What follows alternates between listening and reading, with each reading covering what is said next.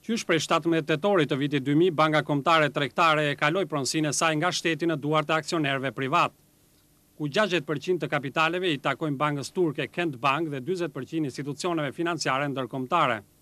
Gjatë këtyre shtatë muajve të ekzistencës së saj si bankë private, ajo operon në tetë qytete duke qenë kështu banka më e madhe private në Shqipëri.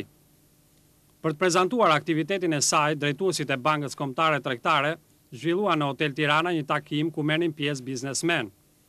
Sipas drejtorit të kësaj banke, Sejhan Pencapligil, Banka Kombëtare Tregtare do t'i japë prioritet edhe procesit të kredidhënies për ndërmarrjet rentabël. Dhjetë milionë dollarë do të investohen nga drejtuesit e bankës për përmirësimin e kushteve të shërbimit, nga të cilat pesë milionë dollarë u përdorën për rinovimin fizik të agjencive të saj në të gjithë Shqipërinë. ndërsa prania e saj në qytetet kryesore të vendit do t'i afrojë klientelës shërbime të shumëllojshme.